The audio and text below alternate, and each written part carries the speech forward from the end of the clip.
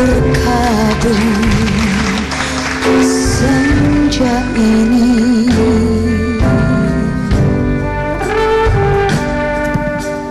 Ku tabur bunga di kubur kekasih.